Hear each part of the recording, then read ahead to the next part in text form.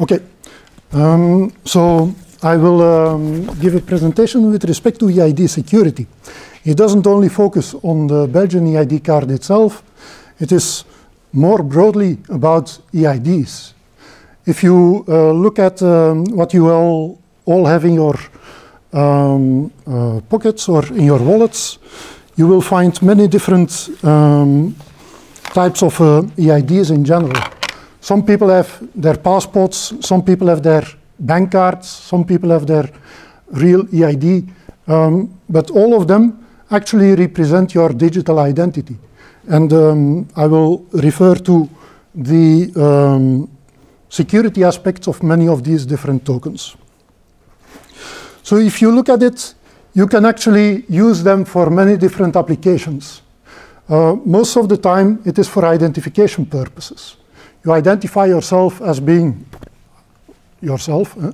So I would present myself as being Danny De Cock, and if somebody has some doubts about that, I can prove it with typically a government-issued device, typically a token.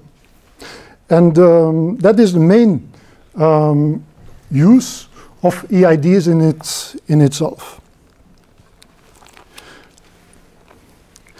You can also use it for authentication purposes. If you want to log in into a web server, or if you want to sign your emails, these are also uses of your EIDs. And um, there are many different applications. I'm not going to enumerate all of them because you can create um, many of these examples by yourselves. What is actually the triggering point of what Bart has introduced um, with respect to the EID card?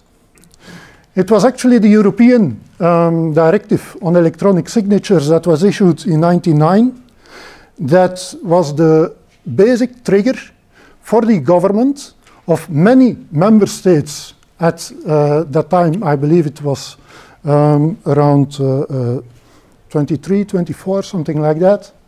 Um, and as a member state had to implement the European directive, as opposed to the regulation that has been uh, deployed in the recent year with respect to eIDAS, uh, the um, directive of the European Commission had to be implemented by every member state.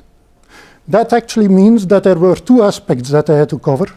One aspect was making sure that there was a technical implementation of something, and there was complete sovereignty for each of the member states to select whatever solution they liked.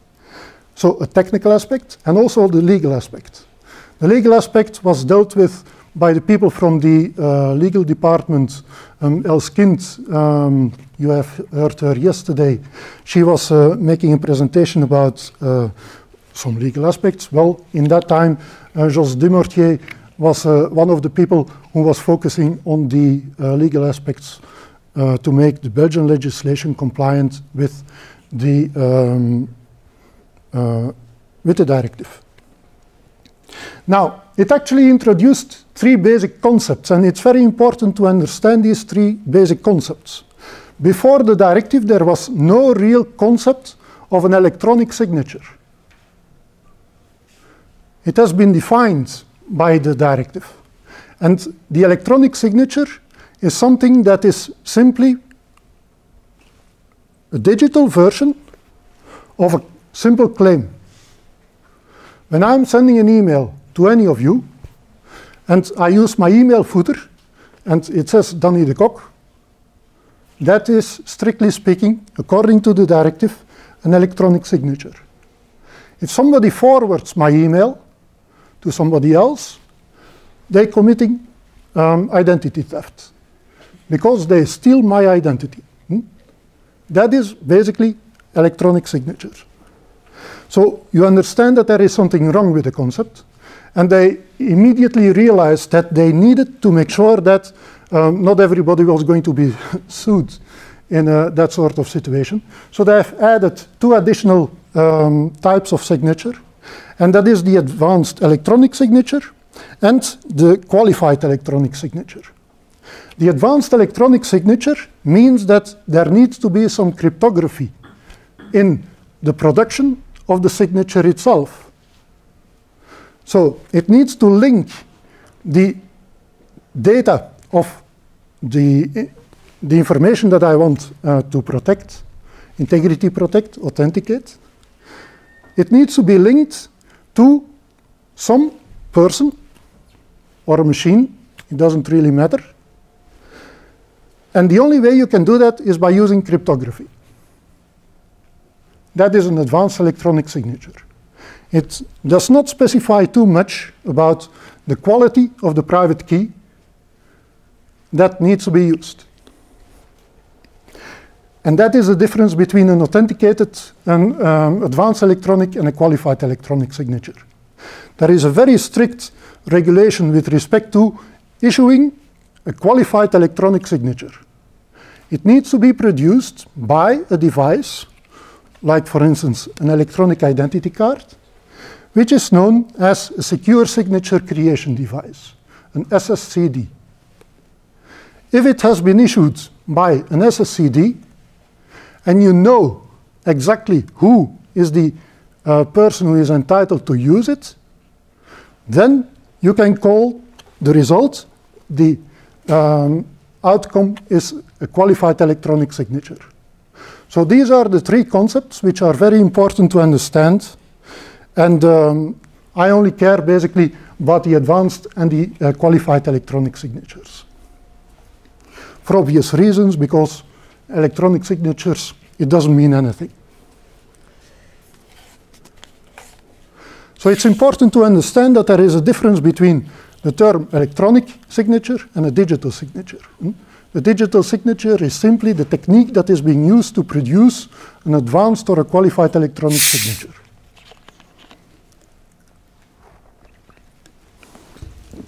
Okay. The Commission has realized that there was basically a problem because every of the member states had sovereignty about how to implement it. They could select whatever they liked, as long as they were using cryptography. It could be called an advanced electronic signature. And if they were able to also pinpoint the user that was intended to use the private key that was corresponding to it, it could be called a qualified electronic signature. But the basic problem was lack of interoperability. Every member state really had a possibility to select whatever solution they liked. And many of the countries, they were not very um, keen on making sure that they could work together. That is something that um, um, was a, lessons, a lesson that was learned from the directive.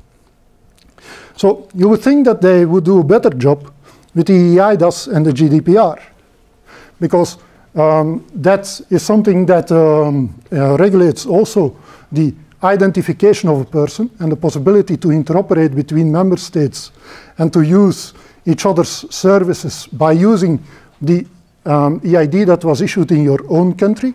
So the goal of the EIDAS is to make sure that there is a system over all the member states that ensures that everybody who has an EID that was issued in their home country can be used in the country of their choosing for whatever application that is available. So that is what EIDAS is trying to regulate. You would think that um, it solves the interoperability problem. Unfortunately, um, there is uh, some legacy. Hmm? So everybody, every country that has started to implement their solution since 99 they are not going to modify their solution much so that they become interoperable with the current um, requirements. So each of the member states, and not all of them they are member states, or some will uh, be no longer member states, um, but the um, countries that have chosen to do something, they have um, still the possibility to implement it the way they like. So how does a commission solve that? They are providing a software library where they have four possibilities, compatible, compatible, non-compatible, non-compatible, etc. And all the possibilities between um, uh, countries. They are providing a kind of middleware, uh, common language, so that every country can translate to that one and then uh, divert back from that so that you have the n squared problem solved. Now, they realized also, um, after having issued the 99 directive, that um, making every member state implement it by themselves, that that was a problem. So instead of going for something that was a directive, they went for a regulation.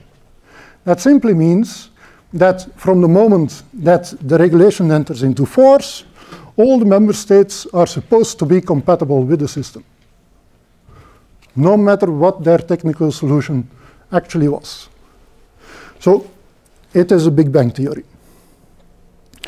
They also learned that there was an issue with respect to um, the, uh, the actual use of uh, the IDs, because what the basic reason was why they were creating the 99 directive was they thought that electronic commerce didn't boom because of lack of identity, that you were not able to identify the service provider or the hardware provider when you purchased something. They thought that not being able to sue them if something goes wrong was keeping the, um, um, the booming and the explosion of uh, real successful e-commerce activi activities, that that was being hindered by the lack of EIDs. That was not true for very simple reasons. Why didn't it matter whether you had a secure EID or not for electronic commerce? Think about it. Does it actually matter? What do you care about? Care about getting paid. Exactly. So the money providers, they were solving the problem. And it doesn't matter whether the EID is actually being used or not. I only want to purchase something from a service provider if I know that he is going to reimburse me when something goes wrong. It's about money, not EIDs. So they have learned from their lessons and they are just implementing everything that they are now enforcing by themselves. Um, they, that means the European Commission. So they are making sure that there are services for uh, e-delivery, um, that you can really trace the, the path that was taken by whatever good that has been uh, purchased. E-invoicing, they have standardized the mechanism so that you can um, send invoices from one member state to the other member state in a trusted and verifiable manner. Uh, the e-signatures is the means uh, to do that, and the e-translation, well, 25, 27 member states, the number of member states doesn't really matter. Um, it is actually only working if you have certified translations. So e-translation is also very important um, part of the Commission's activity. So it makes sure that every member state, their inhabitants, is able to use the services in the country they visit using their own EID. Many of the countries, they go for smart cards to have it implemented. And um, I'm not going to go through all the details about what a, smart card actually is, because I assume that most of you know. Um, but it's actually a very secure container that is able to protect itself. And the data that is stored in it is able to um, be read. You, everybody can read it if uh, the device is given to you.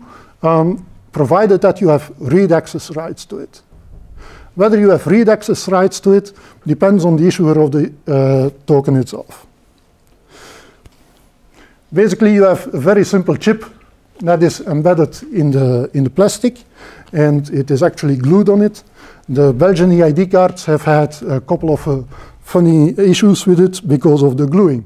So um, you still had your EID, you still have had your ID, but they were not really uh, bound together anymore, um, which has led to a couple of interesting um, identity cases where people can simply swap uh, their, uh, their SIMs, uh, their um, um, smart card chips, without the police being able to notice it, because they were not reading the chip, they were just depending on um, the visual verification. Next to the contact chip, there is also an RFID-based uh, chip that can be read uh, contactlessly. And um, depending on the type of citizen that you are, and depending on when you get your EID card, your EID card may have the RFID chip in it, or um, it will be a simple contact card um, by itself.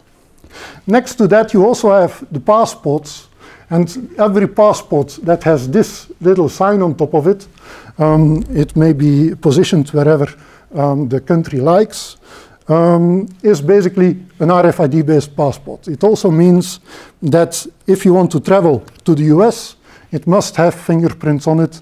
Some countries may require specific um, biometrics that are embedded in it. This is an ID, this is an ID, both of them are EIDs.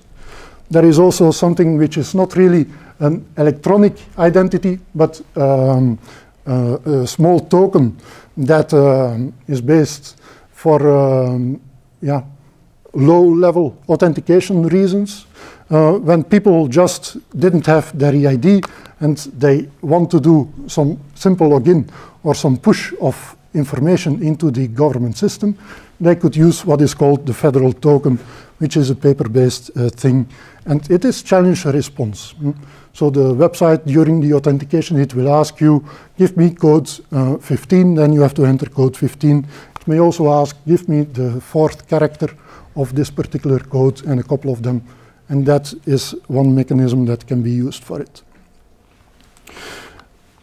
You see that there are uh, several levels. Eh? So level 2, the ID card is level 3 and 4. That is basically um, specifying what kind of services that you can be using the uh, card for. Typically for push information, information pushes, a lower um, security level is accepted, and for pulling information, a higher security level is required. Um, for the very simple reason, everybody is basically able to um, file my tax declaration, but only me should be able to read the tax declaration that is genuine. So when you send something to the administration, yeah, it can be done either by envelope, everybody can send an envelope, and the equivalent is um, actually implemented um, with this system with um, this thingy. And the ID card is required for fetching the data from the services. When you look at the EID card itself, it has four basic functions. The visual identification, the digital identification, you can read the chip, and then you can authenticate it. Um, you can authenticate yourself by using the EID card. You log in into a website, the website is asking for a challenge to be signed by your EID card. I sign it with my EID card. I send the signature back together with my certificate. Everything is verified. And then the server knows, yes, indeed, it is Danny de is using the EID card. Then they provide me with the services that are restricted to Danny De Cock. That is the authentication. And then the uh, non-repudiation signatures, these are basically the qualified electronic signatures.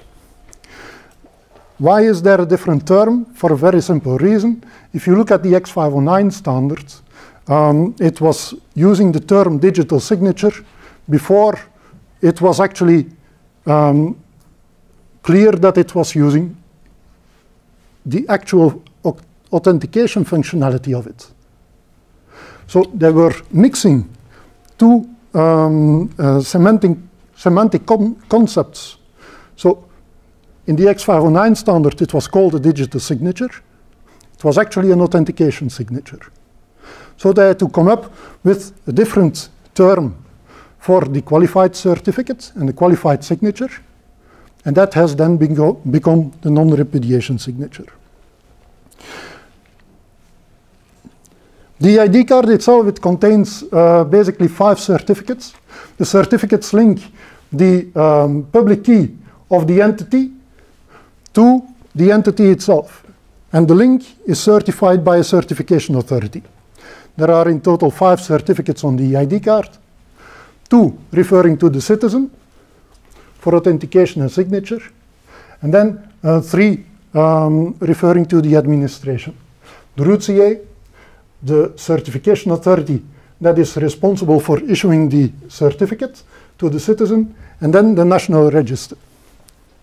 In Belgium, we have a unique situation where there is a, a concept of a national register. That is a central database, a central organization that manages all the states of their citizens, the inhabitants, the residents. These are not all the same concept. Hmm? So the people who are active in Belgium are typically known to the national register. And if two people get married, they switch a bit and they link them together. If people move from one address to the other, the database is modified after validation by the police that the person really has moved. So there is a central repository that is actually keeping state of all the state transitions. If you want to know the last address of a person, the national repository, national uh, register, is the only place that has the authentic data. Now, as they have the address information and they know exactly who I am, they are able to issue the uh, statement by means of a signature that really the data in the ID file, the data in the address file originates from the national register. So they produce the um, signatures that confirm that. Okay. If you have any questions, feel free to ask because I have very short-term memory. The passport by, its, by itself has totally different functions. You cannot sign anything with it. You can only use it to actually authenticate yourself, and the device itself is able to produce signatures, but you cannot really produce an electronic signature with it. Hmm? So that is the main difference between the passports. The main concern for the passports is also that I do not want, um, the, the issuer doesn't want it to be copied. A generation of a clone should be avoided. So anti-cloning is much more important as far as the issuer of the two identity documents is concerned for passports than for EID cards. The visual identification is very similar, um, and uh, depending on the country, you can also uh, read out the actual image of the person. You can also read out the handwritten signature, uh, really an image of the handwritten signature of the person, um, which can be used for only one purpose, uh, purpose, in my opinion, and that is fraud. Hmm? But um, some countries really have de um, decided to include the uh, real uh, physical copy of the handwritten signature into the passport. The main criterion is that it should not be forgeable, needs to be copy protected, and access control to the biometrics needs to be protected as much as possible. So these are the main criteria for an e-passport. There are really many different fields that you can store into a passport, and every of the member states or every of the issuing countries that is issuing passports can select which of these uh, fields that they are including. So the visual aspects, you can verify myself, but there is also um, some um, anti-copy protection. So if you have a Belgian ID card, um, there is a, a small uh, picture here. And if you scratch it with your nail, it makes some noise. And if you flip it like this, you will see different um, values when you look at it from different angles. So it is a polycarbonate card. That actually means that you can modify everything which is not yet black. So you can add black. That offers possibilities. Hmm? You can add a mustache. You can give him a full beard. You can add some glasses. You can have him uh, get long hair. You can do whatever you like. Hmm? That's a disadvantage of the use of polycarbonate. But this picture needs to be modified totally in sync with this larger picture. So when you get checked by a police person, and if he is doing his job properly, he will quickly flip the card over this axis and check whether the two images match. Because the small image is actually printed with a moving laser. And you will never be able to synchronize exactly the same with your modifying, uh, with you modifying the picture as what you were doing on this very large picture. So it will result with a very high probability into a complete black um, spot which can be easily identified by the people that are verifying the ID. Okay.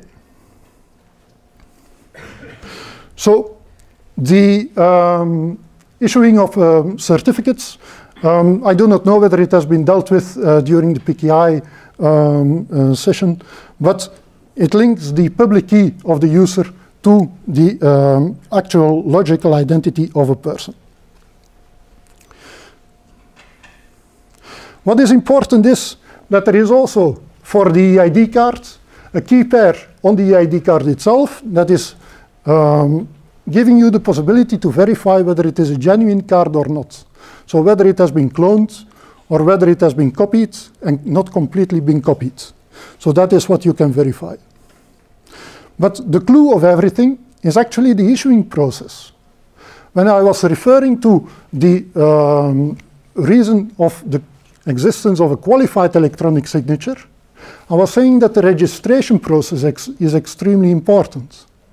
You actually need to know who the user is of the token. How will you verify that? And there, there are a couple of uh, possible improvements for the ID card for a very simple reason that when it is issued to Danny De Cock, it is issued to the logical entity that is known by the National Register as being Danny De Cock. Somebody else can claim that he is Danny De Cock. And if he is able to persuade the, um, um, the clerk, the civil servant at the um, National Register or at the municipality, he will be getting an EID card for Danny De Cock. So there is no real link with me as being a physical person. That is a huge issue. How is it solved? You can only solve it by DNA. Hmm? I'm a fan of DNA authentication. So you get your laptop with a bucket um, and you do spit authentication or with needles every time that you log in yourself. Hmm? That is a very sound mechanism to uh, determine whether you are really you. So the uh, bottom line here is that for every of the um, arrows that um, are indicated, the renewal of the token, the activation of the token, and the request of the token, you actually need to make sure that it is really the person who is known in the database. That is extremely hard to guarantee. So in um, the current system, you have five entities, and the uh, processing of uh, the ID card, it actually requires, let's say, two days. In the first day, you have the generation of the key pairs in the chip and the printing of one side. All the public keys are being collected and a certificate is being requested. And on the second day, the back of the card is printed and the certificates are being stored in the chip. That is a very simple way, way to understand how the system works. The bottom line is that you actually have to have the guarantee that the private keys are only known to the chip. And the operational means of the system guarantee that it is requested by the right person and delivered to the right person. And it should actually be the same person who is making the request and getting the card. That's also a very important um, point. The card itself generates the keys on itself. The command to generate the key pairs is launched externally, but the private keys are generated in the chip itself. They are not exportable by any means. And um, yeah, it's a Java card um, that is um, only uh, managed by the administration itself. Only the issuer of the card is able to update keys. That means generate a new key pair on it. Update files. That means sign the data and then store the data on the chip, etc. The system started in uh, 2003. By that time, RSA 1024-bit was basically not that bad. And uh, unfortunately, the administration has been using it for far too long. The um, 2048 uh, RSA bits uh, keys have uh, only been issued since the 1st of March 2014. If you look at it, that's actually a bit too long because the cards, originally they were valid for five years. Currently they are valid for 10 years. So if you would now issue an EID card with an RSA bit, uh, an RSA private key with a modulus of 2048 bit, it's actually already on the edge. Hmm? So that is the current situation. For tomorrow, there will be ECDSA signatures, um, possible with the ID cards that will be issued as soon as the administration decides to start using the new chip. I have no idea when that will happen. Hmm? The key length, for the time being, I have also no idea but the recommendation was 256 bit, so that um, if it all goes well, that there is still some margin for improvement. The details of a certificate, everybody, this is an assignment. Wherever your country uh, of origin is, and if you have EIDs, have a look at your own personal EID certificate. That is um, a very interesting exercise. If you compare bank cards and EIDs, they actually do very similar things. The bank is actually the issuer of the bank card. The government is issuing it uh, for the uh, civil servants, but also for the normal servants, uh, being the citizens. And the, the banks themselves, they are actually running a very closed system there is really no need for interoperability whatsoever with a bank card, uh, which is not the case when you are using ID cards, because the citizen may travel, and when they are using an ATM, it's actually the actually home bank that is going to verify whether the uh, transaction that is being requested is cleared, yes or no. So they always talk to their own cards, basically all the commands, all the data is encapsulated at the point of sales terminal and is then sent to the back office of the bank, the issuing bank that is uh, um, of the card that is being used. And they never communicate among different banks.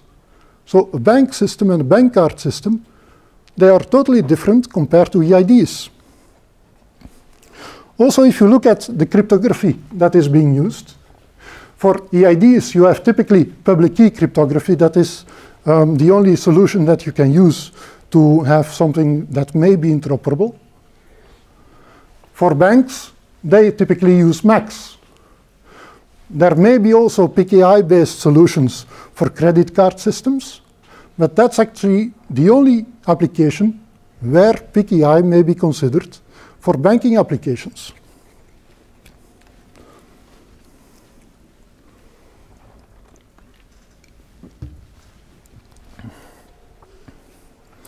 My slides are available online. Um, then you can analyze the um, um, table in uh, all detail. But the basic bottom line is that the, um, the devices that are being used for bank transactions are actually of a lower security level as far as the registration quality is concerned, as an EID.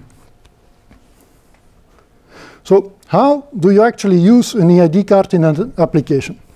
You always have to use a reader. Mm, you can use a smart card reader uh, for banking applications. You can use a smart card reader that is connected to your application on your PC um, when you want to use an EID card for uh, whatever type of application that you like.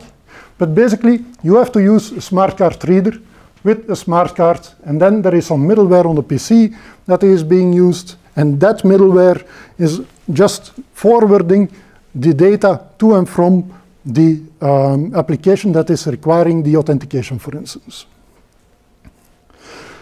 Challenge responses are extremely important for authentication mechanisms. So the web server will know that a certain person is using their EID card after a fresh token, a fresh challenge has been sent to the EID card. It takes a couple of steps but after the citizen has entered um, her PIN, this, uh, the token will be signed and the signature will then be verified and eventually it will turn out to be Alice. The verification of a signature is extremely complicated. The generation of signatures has never been easier. And certainly with the EID cards, everybody tries to make you uh, produce signatures but the verification and the actual legal validation of a signature is extremely tricky. So how does it work? You will only know that it is really the message that was sent if you have verified the certificate that comes along with the signed um, challenge. What do you do? You will first verify whether the claimed identity is still usable you will verify whether it has not expired. You will verify whether it has not been revoked. And you have two possibilities to determine whether it is still usable, yes or no. You can use the OCSP, the Online Certificate Status Protocol, or you can use certificate revocation lists. The revocation list, that is something that grows extremely large, and it is quite cumbersome to verify by yourself.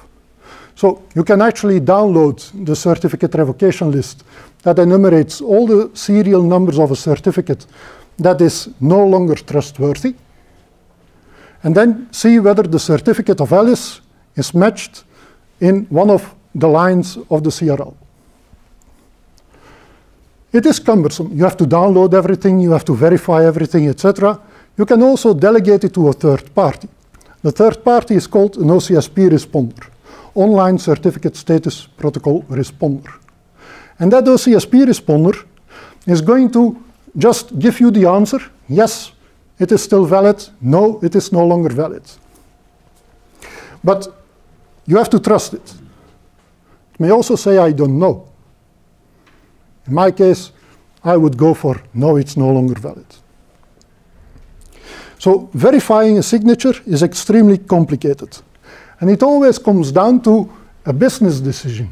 You still have to believe that the idea of the person was actually being used by the real person. You have no way of verifying whether it is true or not. That is one of the basic problems. You do not know whether a private key was used, yes or no, and whether there was some consent, yes or no, when producing a signature and verifying it. So entering the PIN that is the only way currently with an EID card to show your consent that the signature can be produced.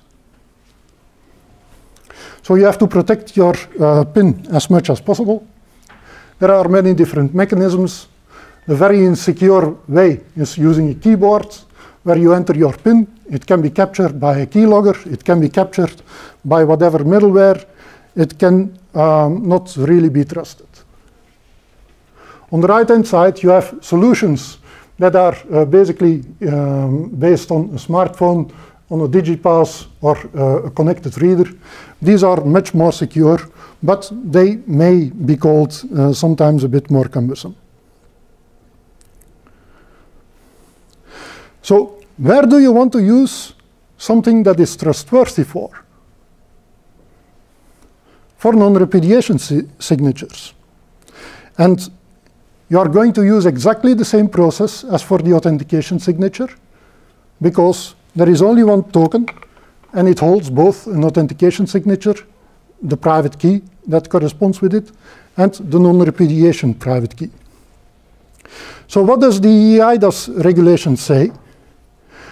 They want to make sure that all the authenticated uh, messages that you produce with your, e with your own EID, that they are going to be trustworthy in whatever member state of your choosing. That's the core bottom uh, that they want to achieve. For that purpose, they are creating a couple of trust services. And the trust services, they may be deployed by commercial organizations that may produce signatures on behalf of a citizen. And there is quite some regulation that specifies how they should be doing it. So it has been standardized to produce qualified signatures and seals. A seal is actually a stamp that is issued by a company or an organization, and a signature is something that is issued by a person.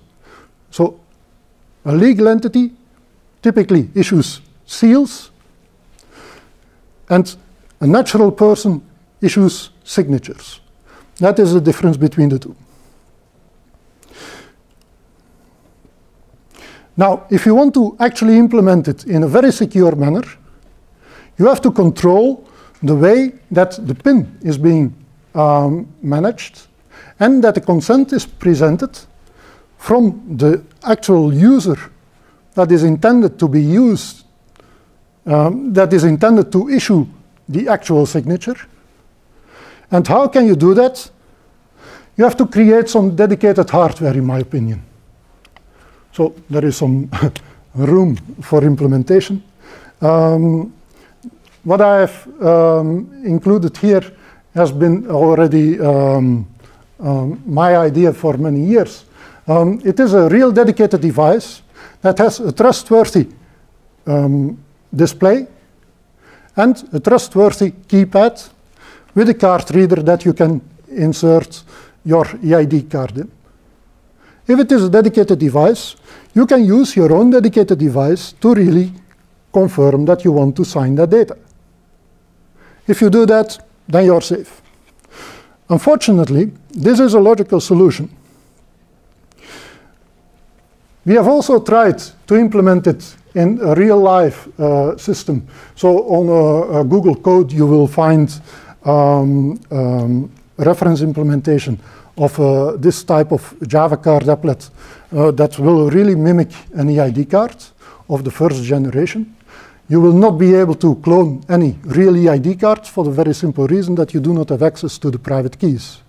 But basically, functionally wise, um, you can copy it and uh, provide it on your um, normal smartphone. But unfortunately, there is no real link with the consent of the user. So how are you going to solve that? In my opinion, there is only one mechanism to do that, and that is by using a smartphone combination with a registration of one of the devices that um, you can choose, which is typically um, a challenge response token or a one-time um, password generation token that are registered to the person using a real dedicated and very strong um, registration link. And then with the uh, back office, you can actually do, uh, during the registration, this is my last slide, um, during the registration, you actually permit the HSM in the back office to uh, generate a couple of key pairs on behalf of the user that is being registered. In my opinion, that is the best thing that you can um, achieve as far as um, e-security is uh, concerned. If you have any questions, feel free to ask them now or during lunch.